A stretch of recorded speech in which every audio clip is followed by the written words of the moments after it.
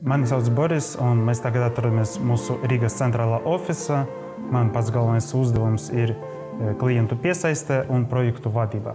Katru rītu es iesaku ar kafijas stāstīt, un pēc tam es kārtoju savas ikdienas darīšanas. Es kārtoju e-pastus, es uh, sazvanos ar klientiem, lai vienotos par tikšanos, kuriem interese gāzes apkures sistēmas. Pat cik mūsu klienti atrodas visas Latvijas novados, man bija iespēja apceļot gandrīz visu Latviju. Es apceļoju no Liepājas līdz Aluksnei un no Salacgrības līdz Daugavpilī.